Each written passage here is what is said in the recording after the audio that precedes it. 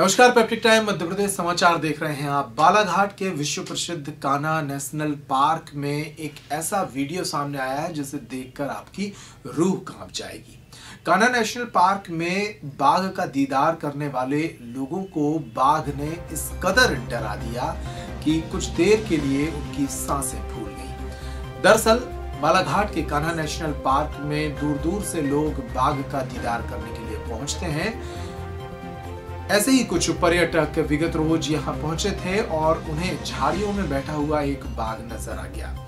Guide उन्हें बाघ दिखा रहा था कि तभी बाघ ने गुस्से में जिप्सी की तरफ़ दौड़ लगा दी। गुर्राता हुआ बाघ जिप्सी की तरफ़ दौड़ रहा था, पर्यटकों को झपटने की कोशिश कर रहा था, लेकिन तभी सारे पर्यटक डर के चिल्लाने लगे और इस चिल्लाने को सुनकर बाघ वापस भाग गया। देखिए इस वीडियो को।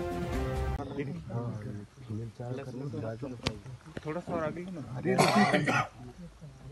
थोड़ा सा आगे तो अब गाड़ी को बुलाते हाथ आ भाग जाएगा ना वो चार्ज करती है गाड़ी का आवाज़ स्टार्ट कर सकते हैं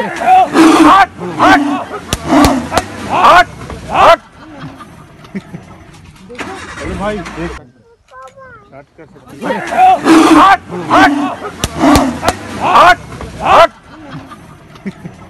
দেখো